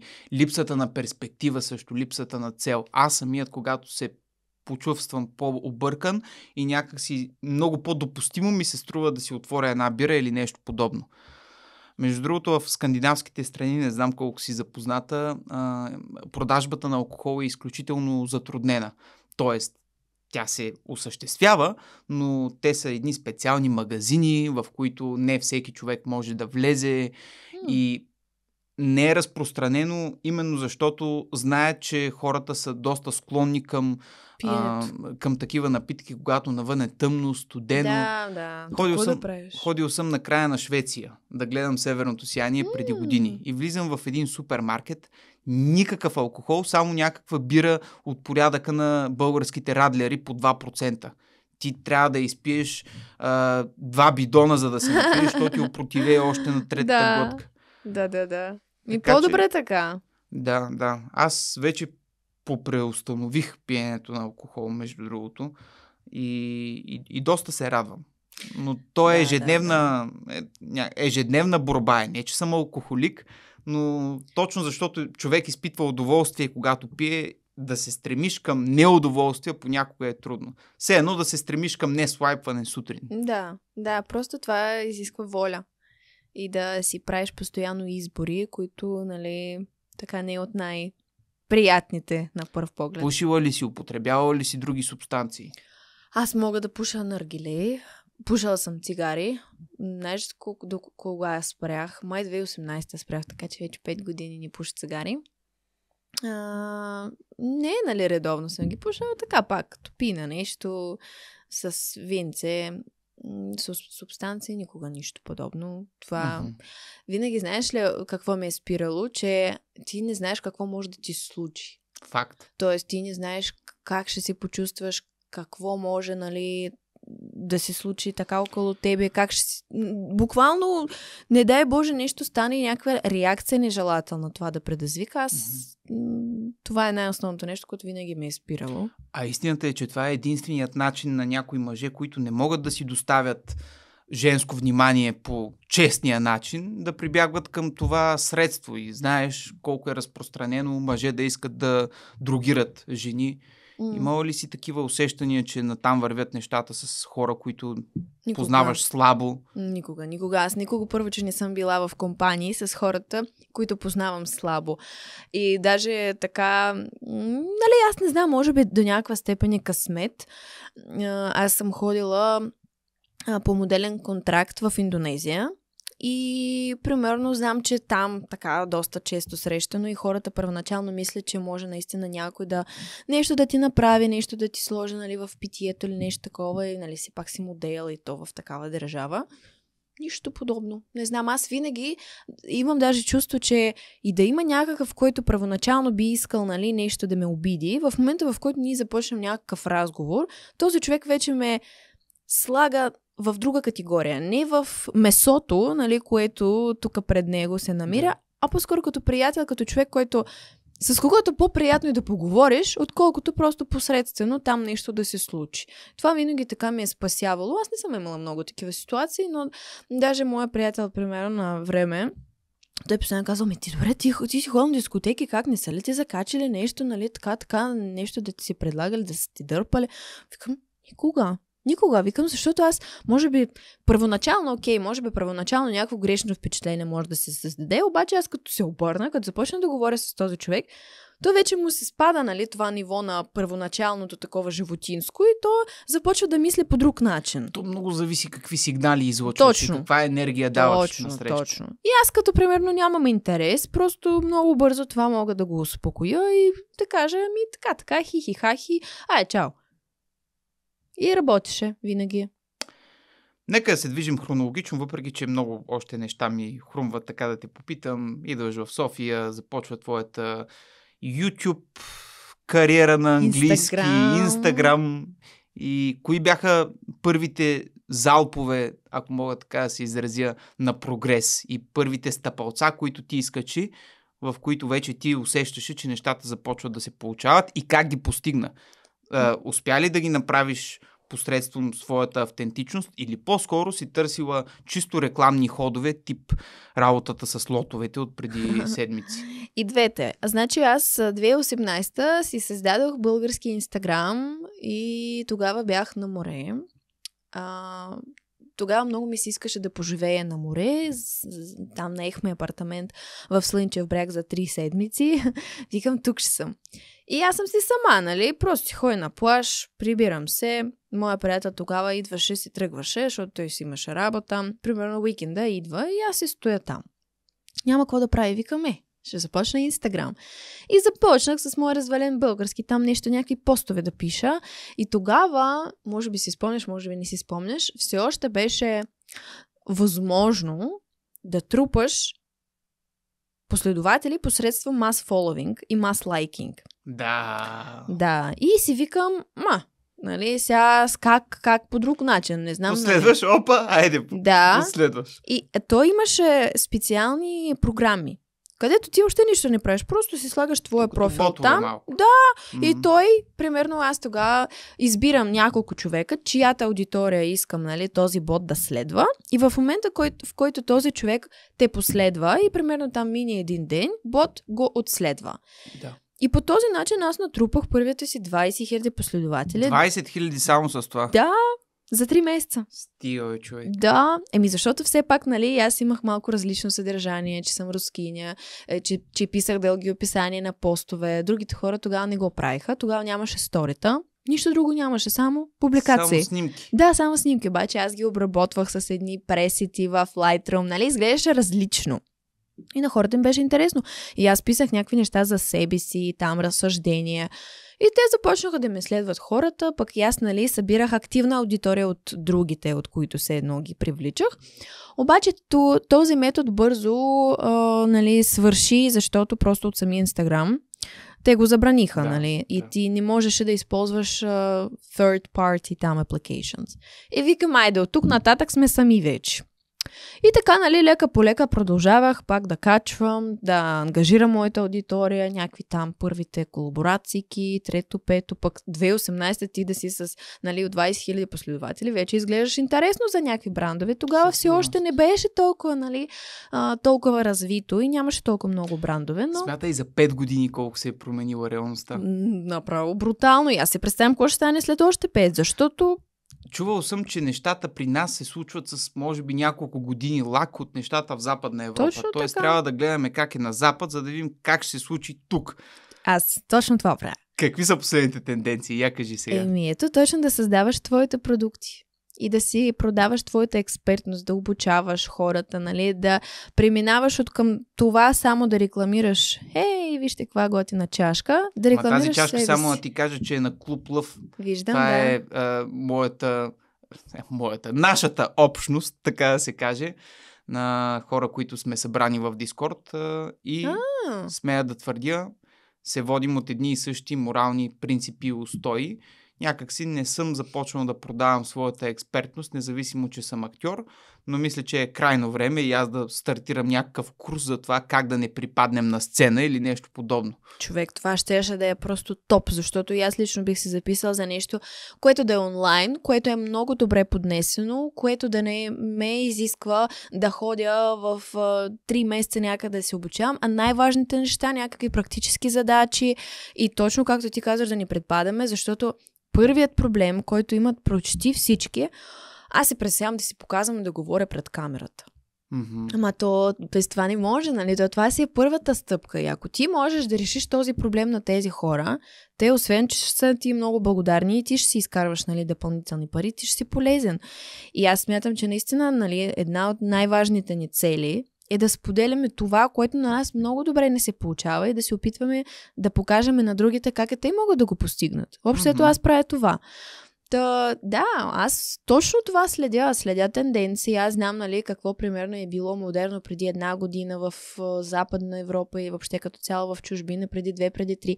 Даже с наргилетата, когато аз дойдох в България, тук все още нямаше никакви тютюни, нищо. Имаше един единствен тютюн. В Русия вече беше нещо... Пф, сега тук го виждам. Тук Да. вече има различни и такива, и такива, и тютюни, и самите наргилета още ли са популярни, бе, човек? Аз не съм пушил сигурно от студент от 10 години. Популярни са, да, популярни са и вече, нали, наистина има за какво да са популярни, защото станаха много по-качествени, много по-вкусни. Тогава, Те са из витамини вече, сигурно. скоро може и да станат, да ти кажа.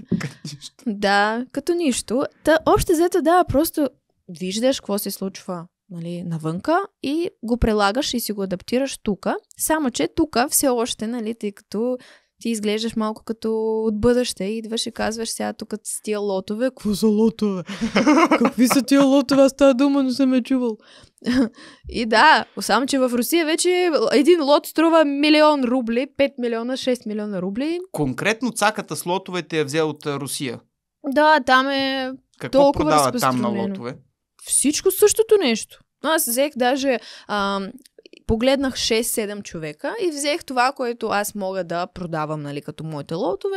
От този е това, от този това. Ма всички го правим. Той няма как. си- Всичко е правено, първо правило и второ правило, ако ще вземеш нещо, трябва да дадеш и собствената си окраска, защото Е, просто да. да. го, да го краднеш, ще Е, стоиш да. съшито като с бели конци. 100%, но те основно всички продават реклама и всички в Русия, примерно аз тъй като гледам нали, предимно руски блогери, осъзнават наистина колко е готино да вземеш такъв тип реклама, защото това не е просто нали, стандартната инфлуенсърска реклама, това си е реклама за лични профили.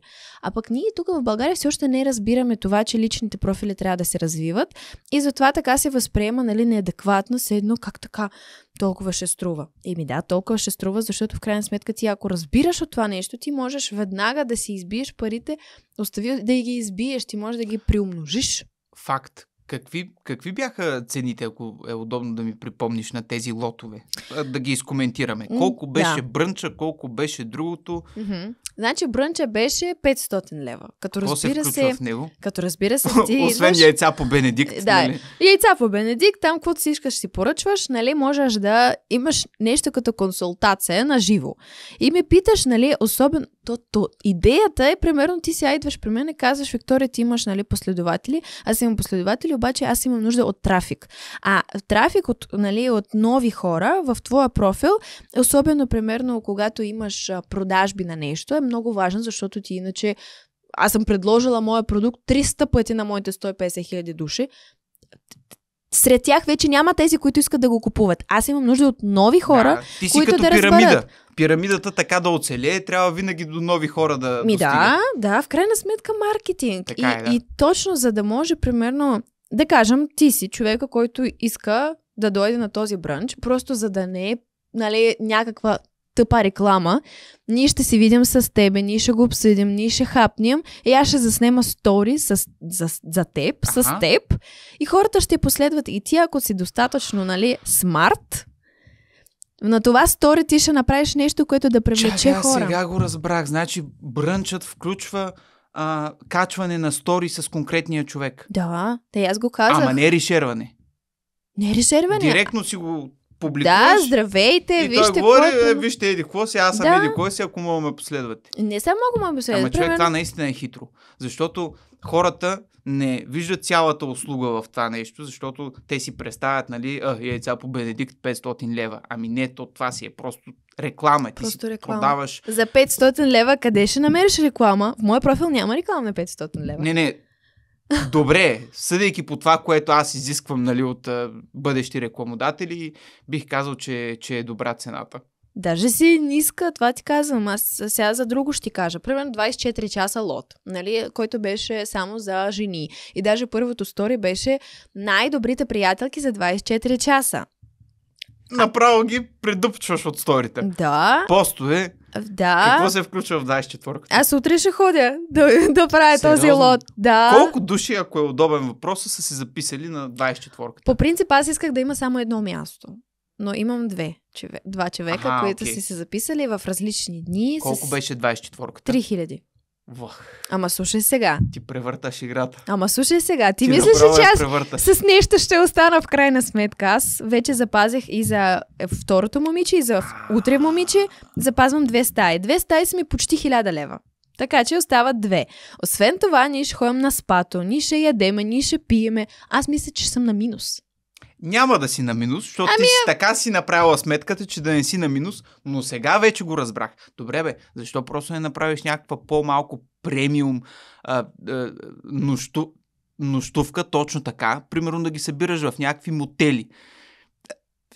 И 24-ката с теб да струва много по-малко. Ама защо аз, нали? В крайна сметка това трябва да е готина реклама. Аз трябва да кажа, ето вижте а, къде се намираме, трябва да има красива картинка, трябва да има хубаво място, трябва да има общо взето... А, как да го кажа? Това е пак отново аз мисля и за в бъдеще. Примерно сега ще покажа какво момичета са получили срещу 3000 и примерно успяха ли да ги избият, имаха ли въобще за цел да ги избиват тези пари, колко последователи са спечелили, нали, благодарение на тази реклама. Следващия път това никога няма да струва повече 3000 лева, защото за мен не е изгодно.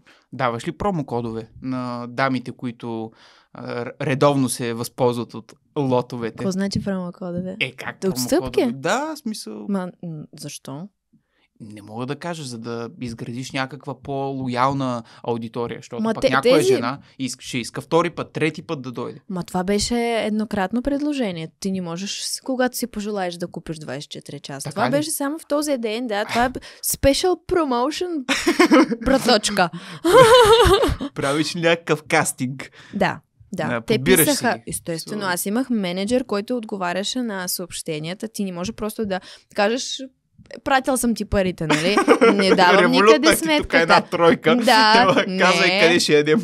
Не, не, не. Тоест, аз се сложах менеджера ми, тя отговаряше, чуваше се по телефон с тези момичета. След това казва, да, наистина имат интерес, така, така, така. Ето ти инстаграм профил, разгледай, харесва ли ти, нали, би ли искала наистина да То си е направиш. услуга. Да, в това си е реклама. Всеки един лот си беше реклама. Кажи ми обаче, защо това не се е, предоставя като възможности на мъже? Ми В как? крайна сметка, това е работа. Е, да, обаче аз имам някакви принципи, аз имам, нали, моите си някакви Ема, разбирания. вие нищо не правите. Нищо не правим, да, но на мен ми е по-приятно да прекарам 24 часа с жена, нали, отколкото с а вие мъж. спите на В едно... различни стаи. В различни стаи. Да, в различни стаи. Но все пак, нали, сега аз не искам да заблуждавам хората и кой какво може да си помисли, нали. Те сега и за жените 100% могат да помислят каквото и да е, че ние отиваме в хотел. А има ли жени, които тръгват с тази нагласа? Не. Да спят с теб в една стая просто? Ми, едва ли такива жени биха искали да дадат 3000 лева? Ми, всякакви уроди има, да ти Има, кажа има, така, има, че- да. Но да, общо ето, нали, всичко преминаваше през кастинг, както ти сам попита. И сега, примерно, за момичето, което, с което ще си виждаме утре, тя се си е записвала на почти всички мои курсове, на почти всички нали, мои продукти. Тя е die hard фен, така да се Ами, каже. тя не е фен, тя просто си явно иска да ме подкрепи, нали, просто така ме харесва, нали, като човек, на нея е приятно, нали, да си прикарваме време. Тя се е записвала в VIP пакет на а, един маратон, който съм правила за уверени жени. Ние сме се виждали там, защото имаше такава премиална среща, нали, за всички момичета от VIP пакета на вечеря сме били с другото момиче, с което организирахме този маратон. Общото ние създаваме една общност и просто изготвено си прекараме време. И аз, примерно, утре тя какъвто въпрос да ми зададе, аз мога цяла стратегия да разпиша, нали, буквално за тези 24 часа, за година напред, как тя да монетизира своя профил, нали, в, примерно, как да монетизира своята експертност. Другото момиче също тя просто иска да започне да си се развива. Тя има 4000 последователи. Много красиво момиче, направо. Аз казах, просто си е грях да не се се развиваш, но тя не знае от какво да започне. И тя идва при мен не само за тези 24 часа, а тя даже ви каза, много ще е яко, ако ние след това нещо ще останем приятелки. А приятелството Пла- платено ли е при теб? платено приятелка. Знаеш ли, като, като те слуша, малко ми напомняш на една друга такава ам, дама от руски происход в българското публично Разбрах. пространство, да, която също бих казал използва същите наративи. Там има ли някаква конкуренция при вас и има ли едно усещане в теб, че ти ще наследиш тази империя от жени, които желаят да се развиват и да развиват своята експертност, да го кажа Ми, Като ние сме теб. на различни теми все пак говорим. Тя говори повече за отношения, за връзки, за манифестации, всякакви такива неща. Аз говоря за много конкретни инструменти, т.е. не такива духовни, някакви неизмерими, несъизмерими неща. както го казваш и в момента си спомням, че влязох в твоя сайт, където пишеше, че продаваш и любовни ритуали. Парични. Парични, няма. извинявай, парични ритуали. Иск, иск, иска ви се да има и любовни ритуали, да, мисълта ми е, че няма. тук има думата ритуал, в същото време казваш, че си по малко по-практичните неща. М, Това А, си е много практично. Малко се обърквам. Какво представлява един, Този А, ритуал. да, паричен ритуал, който ти продаваш и с какво той е по-добър от това, което аз напиша в Google, примерно паричен ритуал и ми излязат пет варианта. Да. Еми, не знам, всъщност може и всичко да действа. Аз другото не съм пробвал, но тези със сигурност знам, че действат. Това си е китайска метафизика и си е доказан метод, който, нали, си сега... Ох, това е гениално. Не, наистина, Вики, направо превърташ играта. Колко жени вярват на това нещо, не искам да си представям. Ама човек, те не само вярват, те имат резултат. Добре. Те трябва да пробваш, трябва да ти пратя да пробваш. Аз имам съсед, мъж. Наскоро разбрах, наскоро разбрах, ние сме се срещнали случайно с него и с приятелката му долу, да в едно кафене и те викат човек. Вика, ти не си знаеш, но ние купуваме твои ритуали. Добре, зна... айде да се разберем така. Понеже ако дам пари за такова нещо, сън няма да спя.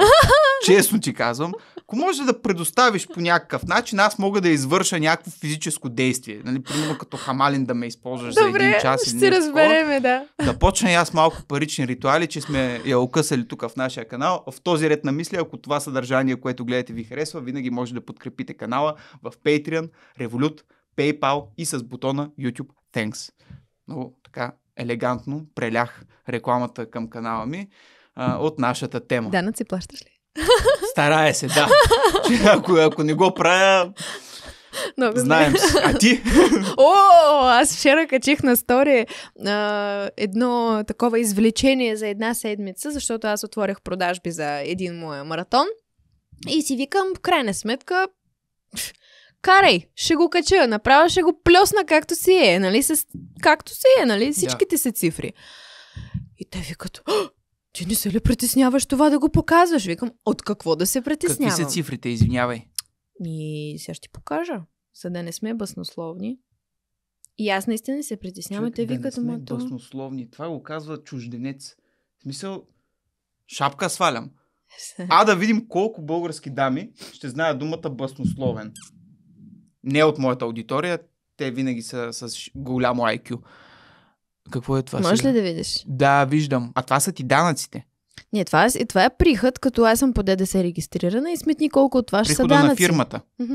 За този месец. За седмица. Виж, пише one week. One week. Батко... Чеф, какво правиш тук с Аз тия ако- подкасти? Ако си се занимавам с глупости направо, почвам аз парични ритуали и въобще и лотове. И ми шапка ти свалям. Наистина. В смисъл, имам едно такова страхопочитание, защото защото е ясно. Но дай да- Ти вършиш мъжката работа горе-долу. Ами, Това трябва да го прави един мъж. Ми, мъжът също го правят сега, нали? Но, в крайна сметка, аз продавам нещо, което носи ползата и на хората, които го купуват. Аз не продавам въздух, не продавам нещо, което не работи. И затова имам и клиенти и Е, не доволни можеш хора. да ме убедиш, че паричните ритуали. Това не са парични ритуали. Аз това ти показах. Това е само Това са този лотове. курс. Да, не, не е лот. лот. Това не е за лотове. Лотовете са отделно. Тук лотове ги няма. Чакай, ти имаш и курсове. Това е само един източник на доход. Това... Да. Ти, а спокойно може да ме купиш и да ме продадеш. Толкова ли струваш? Като гледам тая цифра, може и по-малко да струвам.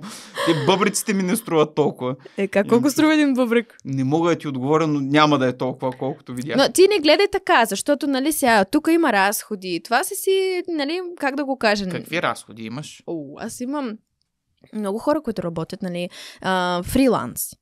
Фриланс, които не работят за мен, но примерно... А, Да, бе, имам... знам смисъл. Да. Някой ти направи снимка някъде, оп. Не снимка, сайтче, нали, сайт, имам човека, който ми прави сайт, имам човека, който ми направи дизайн на платформата, имам човека, който технически специалист, нали, ми е свързал всякакви неща там за вебинара, имам човек, който ми е направил презентация. Повечето от тях са в Русия, което е кофти, защото аз не мога да ги водя фирмени разходи и, и се налага да да моля мама, ето тук пращам ти, разпрати ги на тях парите. Но гледам тук да търся хората, нали, които могат да ми възпълнят тези нужди. И затова ти казвам, че това не, са, не е чист, чист приход. Тук има разходи, тук има данъци. Данъци са много високи вече, тъй като съм по ДДС. Нали, Да, по 20% ДДС. Да. Тоест аз имам корпоративен данък 10%, данък а, дивиденд, който си е 5% и Точно. данък добавена стойност Мгм. 20%. Така че тая цифра като... Е, да, да, ама сега да обясним и на зрителите, които все още нямат фирми, можеш да вземаш фактури и тези проценти да падат. Да, Като да. разход. Да, и затова ти казвам, че е гадно, че аз, моите някои разходи отиват в, към руските изпълнители, защото не може да вземеш фактура. Да. И гледам където може, нали, Е, да взимам. Подпомага и нашата економика, не само, че буксари. Взима много хора, даже наистина много и гледам всичко да прави така, че всеки да е доволен и така, така, така. Но в крайна сметка за, за този е моя маратон да ти разкажа малко, Да, нали, освен паричните ритуали. Тук ние правим а, подгрев. Знаеш ли какво е подгрев? Обясни ми. Примерно ти искаш да продаваш тези чашки, обаче ти ако просто излезеш нали, в сторите ще кажеш купувай чашка, хората ще кажат «Хе, не е интересно. Обаче ако разкажеш за тази чашка от различни страни, от ползите и примерно така, знаеш ли, подсъзнателно, примерно всеки път така да, да си показваш колко добре се пие от тази чашка без да продаваш директно, ще има много повече интерес, нали, хората да купуват тази чашка. И още взето аз обучавам моите ученици на това как да правят това подгряване към продукт или към услуга, която те продават. И резултати са винаги както привиждаш при мен, защото аз правя абсолютно същото нещо. Тоест, ти за да имаш такива резултати, ти трябва да знаеш какъв е метода и аз те обучавам на този метод. Човек изглежда толкова лесно, а всъщност очевидно не е, щом има хора, които не го знаят и плащат за това, за да го разберат. Ами защото нали, то, то не е лесно, защото той има си методология, има си стъпки, които ти трябва да следваш. И аз реално ти продавам готова методология, а, готов план. И ти просто казваш, аха, тук трябваше така, отивам, го правя. Тук трябваше така, отивам, го правя. Както примерно сега за... Аз искам да направя, да кажем, подкаст. Аз влизам в твоето студио и виждам... Крадеш идеи. Да, викам, аха, тук имаше стена, тук има това, значи микрофона си на тази марка, нали? Ще Аха. имаш консултантски Значи- услуги. Лот едно с чефо. Ето, виж, има две лампи, има две камери. Значи камера си на тази марка, на тази марка. Там има още нещо, още нещо. Аха. Но аз ако не бях дошла тук, откъде да взема тази информация? А и защо? По-добре аз да ти се обадя да кажа, Чефо, да, да, прекалено. Да. А, не да, го гълтай Чефо, микрофона. а, нали, разкажи ми как се прави, кажи ми нали, колко струва тази нали, информация, да ти платя, да се спестя времето, което ще а, похарча за това да намеря отговор на този мой въпрос. И моите нали, момичета, които са моите клиентки, правят абсолютно същото. Вместо те да сами да търсят, те идват и казват, аха, ето ти там 300-400 лева, защото толкова струва нали, този маратон. Всичко си е в фирмена сметка влиза, да не започнат тук да ми задават някакви въпроси, фактури се издават и така. Знаеш ли кое мен ме бъгва? Какво? Че аз съм се научил с Google и с YouTube. Всичко, което аз съм изградил като познания, съм го направил безплатно. И точно това ме а, така бъгва аз самия да, да не правя нещо подобно, защото за мен това са елементарни неща, които всеки човек може да ги разбере с няколко клика. Ама Тази колко време ти отне? експертност. Колко време ти отне? Боже мили ми, не знам. Тук добре ме закотви. Не мога да кажа точно време, но... Две седмици, не. то- Два то години. То са, то са и натрупвания. Да, така е. Но ето, хората оценяват времето. Каква е моята експертност? Тя ми кажи аз какво да продавам. Как да направиш успешен подкаст? Как да станеш успешен актьор? Даже без Успешен актьор, който няма Не, добре. участие от Айде. 6 години, но да, Ама, може. а защо нямаш? Защото не Защото искаш. така ми тръгна живота. Знаеш ли, това е много хубав въпрос, който ти ми задаваш. Искам, обаче ми писна да ходя и да не става.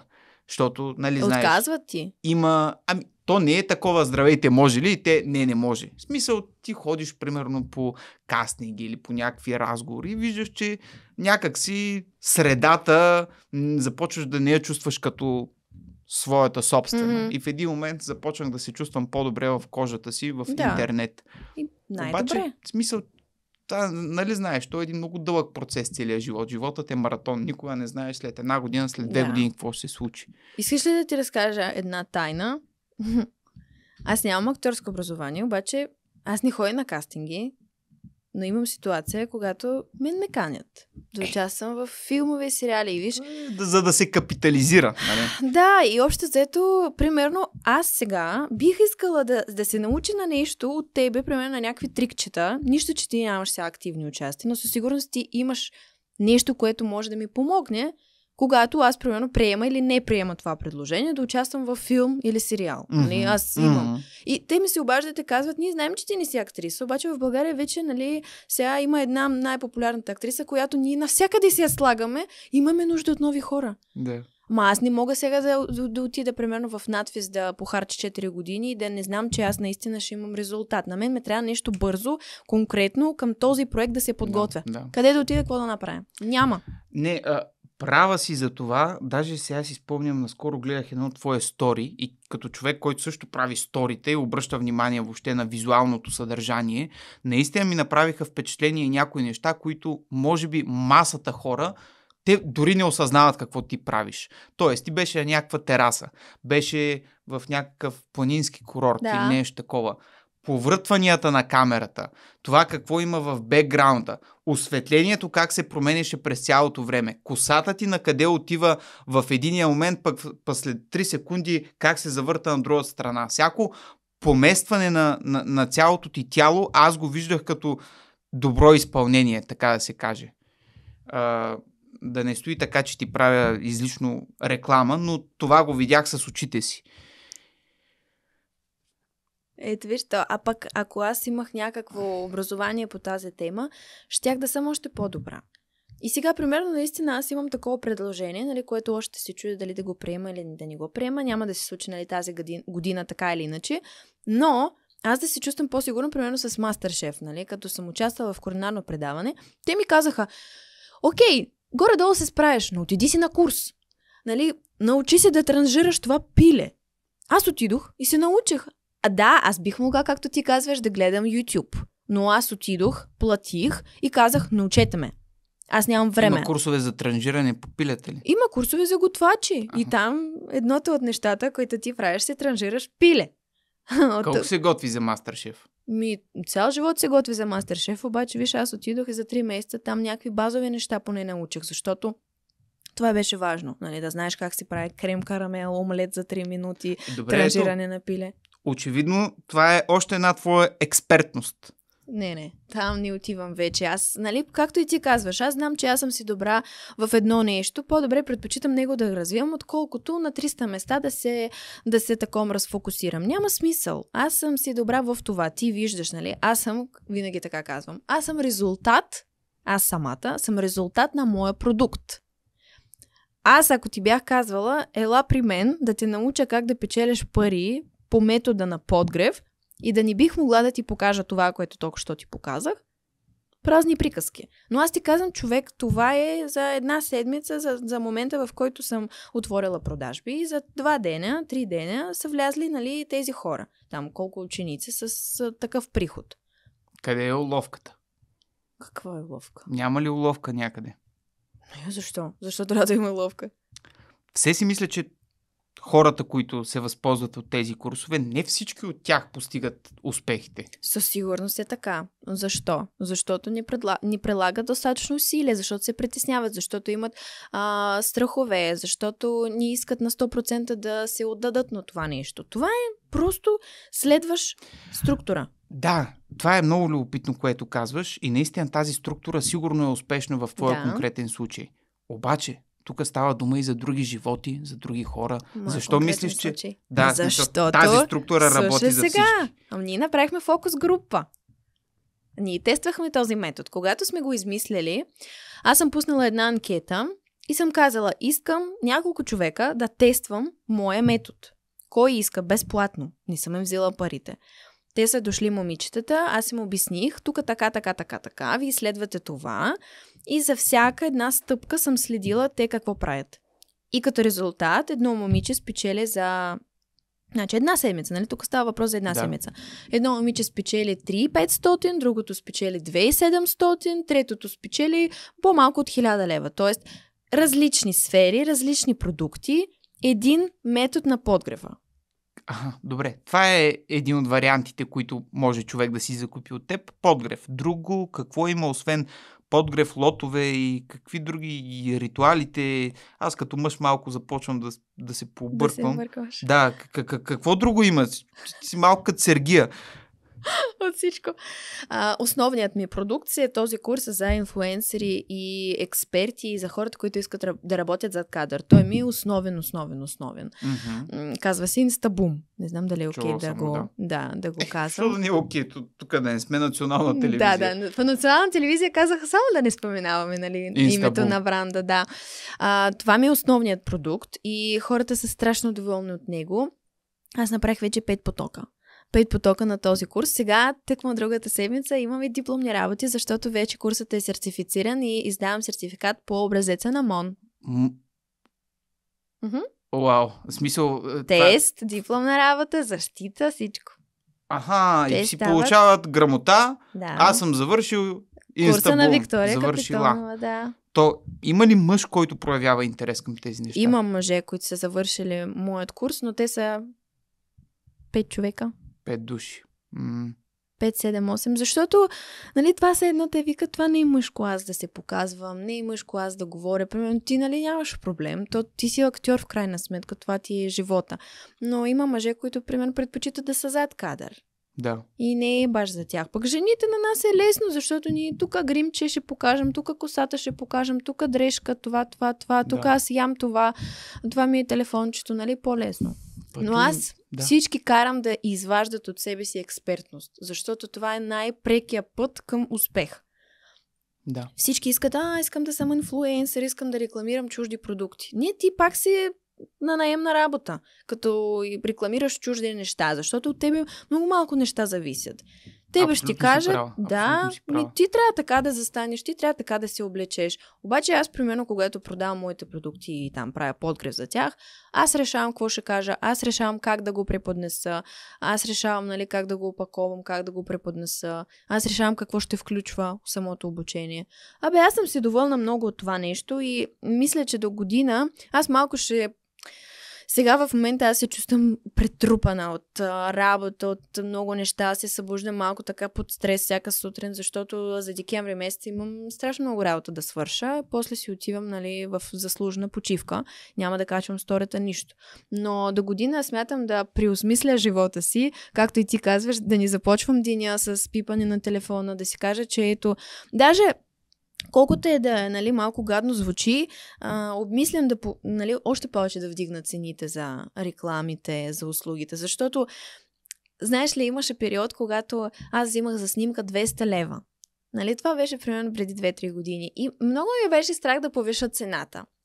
И аз казах, тогава аз нали, с моя близък човек го обсъдих и викам, окей, аз имам 10 желаящи да ми купуват реклама по 200 лева, но аз не смогвам. Аз не мога да работя с 10 човека.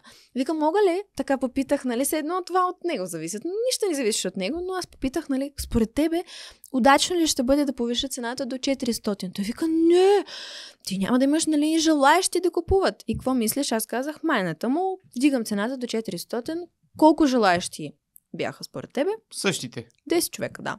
И обаче аз вече печеля не 2000, а 4000. Викам, хм, я да видим пак. Има смисъл. Да, и после пак, и пак, и пак, и пак. И то, то, то не свършва, разбираш ли то.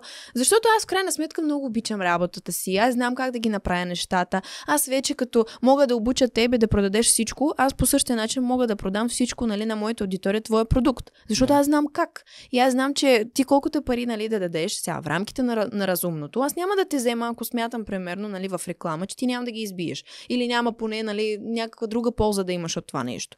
И аз просто директно ще ти кажа, и даже има хора, които ще потвърдат.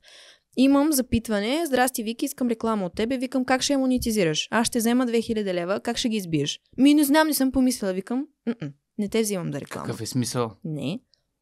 Викам, ако нямаш стратегия, ако не искаш да си я измислям, от до година започвам много стриктно, ще имам примерно 5 бранда, с които ще работя само.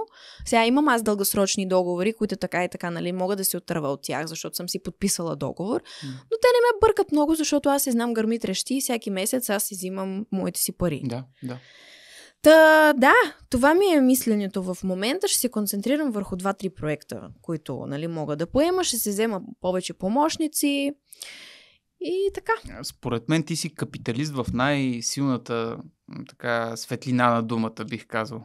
Че, виждала ли си тези мемове, че Капитонова трябва да се смени фамилията на Капиталова? Капиталова. И добро е. това, това е много смешно. добро. Еми, надявам се да имат ползи зрителите, които ще изгледат този разговор, да извлекат, да извлекат за себе си максимално много ползи. Сега някой ще извлече, някой няма да извлече, но не, не, не. Наистина казвам ти, казваш изключително точни неща, правилни неща и, и ме кефи. И много малко жени, според мен, а, въобще могат да подредят толкова смислени изречения, нали, едно след друго. Защото то не е просто да говориш. А, нали, да е и целият този хейт, който се изсипа върху, върху тези лотове. Ми дай, бе, брато, направи го ти, бе. Давай, давай като го намираш за толкова смешно, за толкова нелепо. Да, то в крайна сметка няма проблем, нали? Да Теглиш смешно... чертата, ти ли имаш нещо успешно или те. Това е. И аз даже ако помниш тогава ти писах, ти викам браво, ева, така се прави. Така е. За тези неща. Добре, ами, а, че, Охо, два часа, ай сте толкова. Кажи нещо мъдро на едната камера и да си ходим. А, мъдро нещо, каквото мога да кажа е да търсите себе си, да търсите да се развивате в правилната посока, а, да слушате съвети на Чефо за нещата, които са свързани с живот, с това да не започвате деня с а, вдигането да допамин, пък от мен съвет ще бъде наистина вместо да си прекарвате времето си в социални мрежи безсмислено и просто скролвайки някакво съдържание, да започнете да мислите а вие пък какво може да създавате, примерно, да, като автор, какво съдържание бихте могли да споделят, че то да бъде също полезно до а, вашата аудитория или такава, която може един ден да имате. Съответно, да, бъдете здрави, бъдете позитивни, настройвате се така положително. Не знам кога ще излезе този епизод, но преди и... празници, след празници. Много добър въпрос. Мисля, че преди. Добре, ако... Даже в момента е, монтажиста ще му кажа, брат, зарязвай всичко в живота си, искам го това готово до 3 часа. Оле! Да, но... Това нещо трябва да излезе по-скоро. Нека да излезе и тогава в този ред на мисля наближават празниците, прекарате си ги а, хубаво с семействата си, починете се, защото наближава нова година, в която отново ще трябва да си поставяме цели. Обаче една жена няма как да мокне, ако не е Това до, до утре могат ти разтяга лукоми. Да, живи, здрави, честита да. коледа, честит нова година. После януари месец започнете еди как си пък феврари, еди, що си. Така, стига. А, това беше от нас. Вики, много ти благодаря. Аз. Уникален разговор. Аз се чувствам изключително мотивиран, зареден. Направо ще си купя и аз един лот съвсем скоро, стига да има такива опции за мъже. Ако това съдържание ви харесва, цъкнете един абонамент на канала Чефо. Не забравяйте и към банката, за да мога да достигам до все повече хора. А ако искате да се стремите към това да сте процент по-добри, елате в Клуб Лъв, нашата затворена Дискорд група, в която Включително вече започваме и сериозни дискусии за това как да сме полезни на обществото. Не само на нас, не само на индивида, а и на цялата ни общност. Аз съм Чефо, това е каналът ми Чефо. Смисъл има, бъдете будни. Чао!